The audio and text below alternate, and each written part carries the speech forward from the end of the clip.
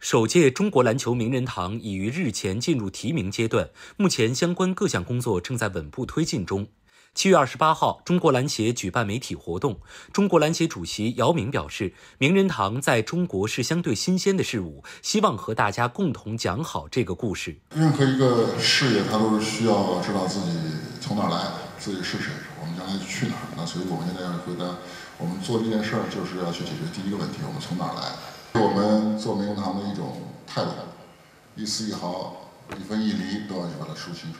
在国外的很多的体育项目中，他都听到过，但是其实，在我们的这个中国的这个呃，不管是体育历史也好，其他历史，相对来说，我们还是一个新鲜的这个事物，所以还希望大家帮我们一块儿去讲好这个故事。中国篮协名人堂委员会执行办公室专家蒋健介绍，除了此前公布的十五位特别致敬人员和一个优秀集体，首届名人堂共举荐十位入堂人员，包括运动员七人及教练员三人。运动员中将包括四名男运动员和三名女运动员。我们现在这个提名阶段的这个工作已经开始了，八月下旬开始推举阶段，就第二个阶段。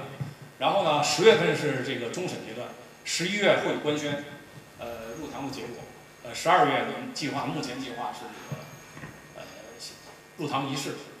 在运动员里头，是对女运动员是有一定比例的保证的。这个七位运动员有三位是女运动员，这里面是强制性的要求你。我觉得这是对中国篮球的这个一个历史的一个尊重。中国篮球名人堂建设是一个系统性工程。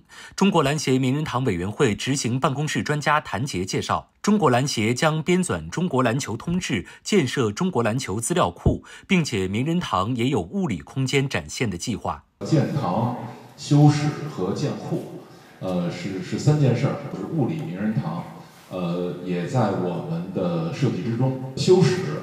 们现在有一个比较呃比较明确的进展呢，实际上修史是我们最终确认了是要先做中国篮球志，由南开大学的历史学院来承担中国篮球通志的撰写，呃，这个可能近期也会有一个官宣。另外一个就是。呃，中国篮球资料库的建设，为什么选择在今年成立中国篮球名人堂？中国篮协名人堂委员会执行主任徐继成表示，名人堂是中国篮球荣誉的最高殿堂，有了它做指引，未来才能走得更远。中国篮球必须了解，让球迷、让中国篮球的人了解自己的这个历史。那么，名人堂呢，它就是最好的。